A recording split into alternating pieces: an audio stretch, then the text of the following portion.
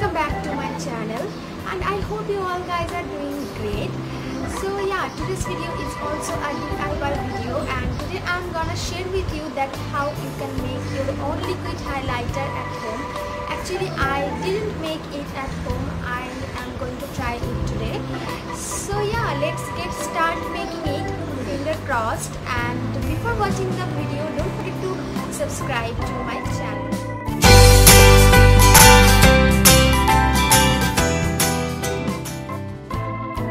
Okay, to make the liquid highlighter you need makeup primer. I am using my DIY primer. You can also use Nivea Aftershave Balm or Lactocalamine lotion. And I have this shimmer. I bought it for 45 to 50 rupees I guess. And you also need a olive oil little bit and you also need something like this to mix everything.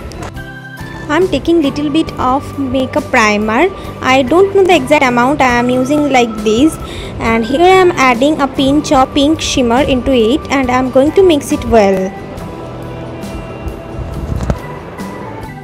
After adding the pink shimmer I am going to add some golden shimmer into it and again I am going to mix it well with the pink one. To give the whitish cast to the highlighter I am adding some white shimmer into it and again I'm going to mix it well. You can also use your favorite color to make the highlighter lastly I'm going to add 2 to 4 drops of olive oil into it and I'm going to mix it. So here is my liquid highlighter is completely ready you can see. So I'm just swatching little bit into my hand. Oh my god. Can you see the pigmentation? It's too pigmented and too glossy.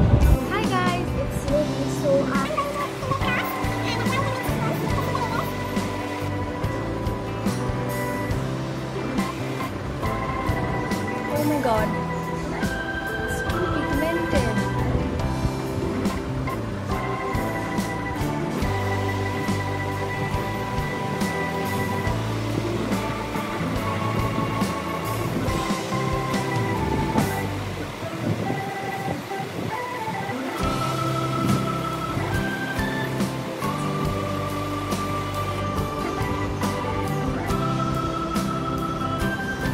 See effect. It's too pigmented and it's too highlighting it is and it is so easy to make and what I can say that I am quite impressed.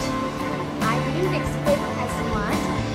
So yeah, if you guys enjoyed this video then give this video a big big thumbs up and don't forget to comment below and share it with your friends and also subscribe to my channel because it means a lot to me do subscribe channel and you can also follow me on my social medias. All links are given below in the description box.